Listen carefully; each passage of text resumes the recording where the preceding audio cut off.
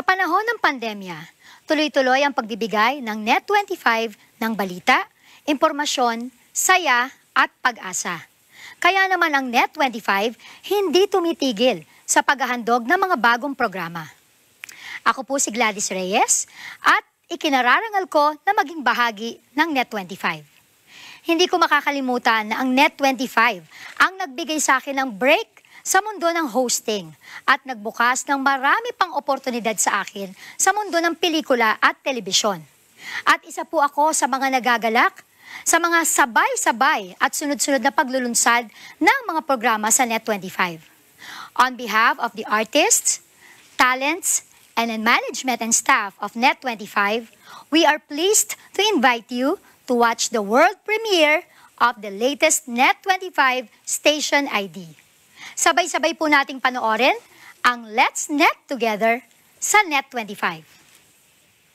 Papansin ba ninyo lumiliwanag ang mundo pag magkasama tayo?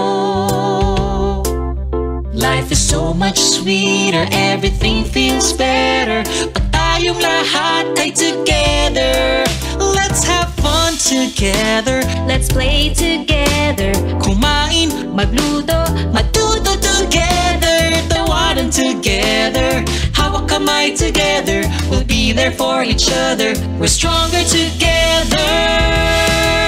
Kaya tara na Filipino. Let's get together. Let's all come alive. Kaya tara na Filipino. Let's get together. Let's get together. Net 25 Sa 25 Let's stay together Let's sing together. Let's all work together. Mag-travel together.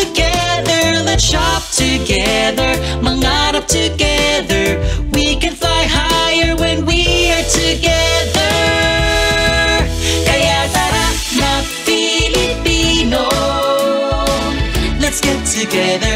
Let's all come alive. Kaya tara na Filipino. Let's get together. Net 25 Panalo tayo pag together Walang talo pag together Balitaan together